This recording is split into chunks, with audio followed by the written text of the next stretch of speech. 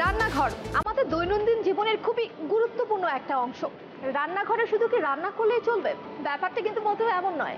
রান্নাঘরে রান্না সংশ্লিষ্ট নানা হাইজিনের বিষয়টিও কিন্তু মাথায় রাখতে হবে।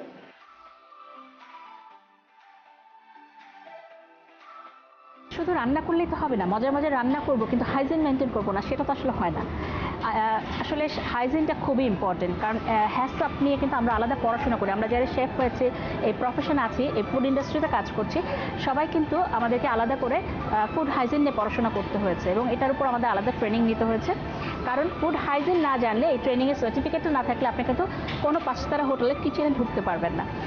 এটা শুধু হোটেল রেস্টুরেন্টের জন্য আমি বলব যে ইম্পর্টেন্ট তা না, এটা কিন্তু বাড়িতেও খুব ইম্পর্টেন্ট আমাদের বাড়িতে, আমাদের ঘরে আমরা যারা রান্না করছি, প্রত্যেকের জন্যই কিন্তু আমি বলব যে ফুড হাইজিনটা মেনটেন করতে হবে। কারণ যে খাবারটা আমাদের কিন্তু স্বাস্থ্য রক্ষায় কাজে লাগছে, সেই খাবারটা যদি কন্টামিনেশন হয়ে যায়, তাহলে কিন্তু আমাদের মৃত্যুর কারণও হয়ে যাচ্ছে। ফুড পয়জনিং হচ্ছে।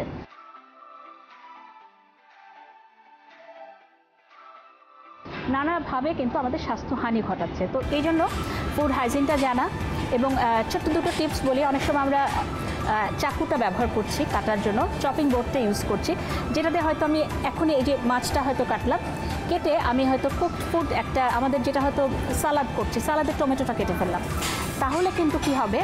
ফুড হাইজিনটা মেনটেন হবে না। এখান থেকে কিন্তু ফুড কন্টামিনেশন হতে পারে। কারণ র ফুড আর আমাদের কোক ফুড যেটা এই দুটো কিন্তু সম্পূর্ণ আলাদা রাখতে হবে। এটা সম্পূর্ণ চপিং বোর্ডটা আলাদা থাকতে হবে, আমাদের নাইফটা আলাদা থাকতে হবে, অথবা ধুয়ে নিতে হবে। এটা খুব ছোট্ট একটা জিনিস, যেটা আমরা আসলে বাড়িতে খুবই মেনটেন করতে পারি এবং ফ্রিজে যখন খাবার রাখব, তখনও কিন্তু এটা মাথায় রাখতে হবে, কোন খাবারটা আমাদের উপরে যাবে, কোন খাবারটা নিচে থাকবে, সেভাবে কিন্তু আমরা মেনটেন করব।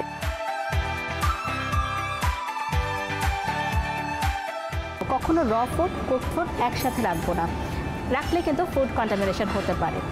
আর আমাদের আরেকটা আছে F I F O first in first out এটা হচ্ছে আমাদের ইন্ডাস্ট্রিতে একটা নিয়ম হচ্ছে যে এই জিনিসটা আমরা আগে কিনবো, সেটা আমরা আগে ব্যবহার করে শেষ করব।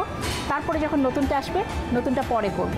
তো আমরা যখন বাসায় ওই কাজ, এই নিয়মটা ফলো করব, দেখবেন কাজটা অনেক সহজ হয়ে গেছে এবং আপনার গুছানো থাকছে কিচেনটা খুব ঝটপট, চটপট করে আপনারা রান্নাটাও করে ফেলতে পারছেন।